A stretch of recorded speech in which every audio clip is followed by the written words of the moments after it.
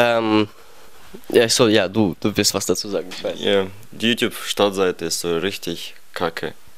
Findest du auch, oder? Ja, gerade, gerade, gerade viele beschweren sich ja auch über die Abo-Box, dass man da zwei, dreimal erst klicken muss, um die richtig alte Abo-Box Es ist voll zu krank finden. eigentlich. Die, unsere Abonnenten, die mehr als die Hälfte sehen unsere Videos gar nicht. Uns kommen die Leute immer auf der Straße, wann kommen neue Videos? Ist doch bescheuert. Ja, das ist extrem schade. Dass, äh, ich weiß nicht, woran das liegt, was das für ein technischer Fehler ist, von dem man uns ständig erzählt. Ich weiß nicht, ausgerechnet bei uns äh, bekommen unsere Videos nur 30% unserer Abonnenten mit, wenn überhaupt. Im guten Fall noch. Ähm, die Leute denken wirklich, wir hätten aufgehört, Videos zu machen. Und dabei gibt es jede Woche eins bis zwei Videos. Das ist extrem schade, weil ich finde, das ist die Funktion von Abonnieren, dass man die Videos wirklich mitbekommt. Ansonsten macht es keinen Sinn. Und dann kommt noch Facebook dazu, eben auch, dass man da dafür zahlen muss, dass äh, du komplett alle Fans erreichst mit, mit deinem Beitrag, finde ich auch natürlich schade.